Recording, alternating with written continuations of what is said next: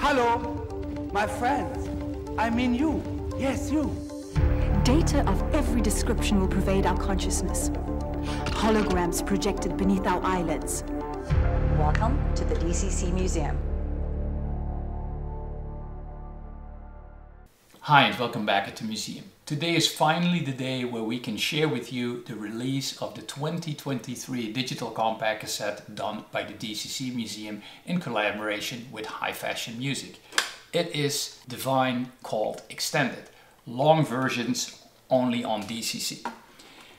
After the award-winning Johnny Guitar Watts and Jochem Gerrits at High Fashion Music asked us to take a look at his catalog to see what the new release potentially could be for this year. And when I saw Divine on that list, it immediately took me back to 1983, where I was 15 and I was allowed to go out for the first time to a disco called Galaxy in the Netherlands. It was there where I saw Divine live for the very first time. And it is an honor to be able to release that music from that period and that era on digital compact cassette. Ben Liebrand joined with a special remix, rework and a dub mix, only available on digital compact cassette. There's also a version available on 12 inch that's already released by High Fashion Music on beautiful pink and black vinyl as a 12 inch. But we focused on the longest version on digital compact cassette. I immediately also had a vision on what I wanted to do of that super disco era. It was a disco ball with a variety of releases. So we come out with three different releases for digital compact cassette. First of, of course is like I've shown you the digital compact cassette with over an hour, the longest version done by Divine. Then the second release that we're doing is the Patreon release.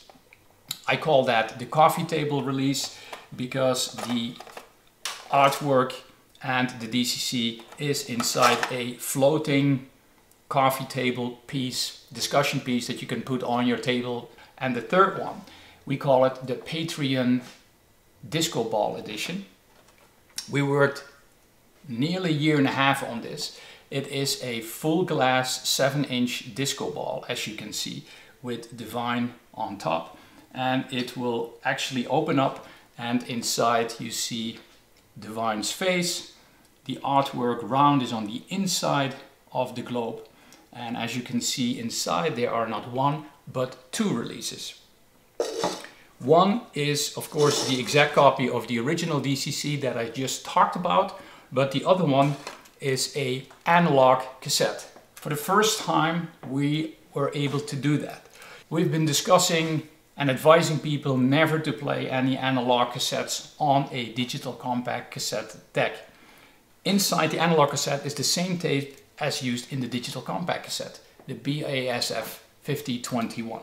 So it's chrome videotape that will not shed and is absolutely safe for your DCC deck. Arjan Rietvink was able to master it so that it would sound perfectly and all of these recordings are done on our Nakamichi Dragons. So on the extra album on analog cassette there are three different songs, one done by Ben Liebrand and two extra remixes. The DCC itself has 11 tracks. One of them is on 48 kilohertz 24-bit. So it's a hybrid album again, just like previous albums we've done. This is very special because it's the first time we also use artificial intelligence because the master tracks did not include a multi-track that Ben Liebrand needed to create a rework. The result is absolutely fantastic in a long mix over eight minutes. I really hope you enjoy that. The artwork was done by Jeremy Heiden. The inside is all done by 3D printing. This globe is hand built.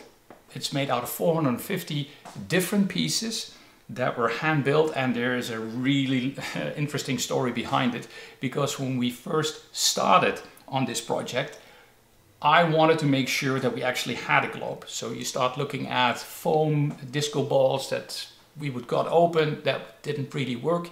And then we found a manufacturer that was able to do a glass disco ball with a metal inside. So we bought four or five pieces, we started working, 3D printing, and then when we were about eight months into the project, that manufacturer ceased to exist. So the globes were no longer available to us. And we've been looking for months, couldn't find a replacement. And for the lack of it, we started to seriously consider to manually build them. I've done four or five, as you can see in this video. And then when we were close to going into manufacturing ourselves, we found another supplier that was able to give us the same quality glass globes as seen here. Three different editions, two of them exclusively for Patreons, the coffee table edition and the Patreon disco ball edition. The DCC itself will also be available on other channels as well. So we hope you enjoyed this music as much we had in creating it. Thanks to all the team members at the DCC Museum for helping us. I cannot thank you enough. And again, it's become an annual tradition to add now the eighth album onto our wall of music. There you go. Thanks for watching. See you next time.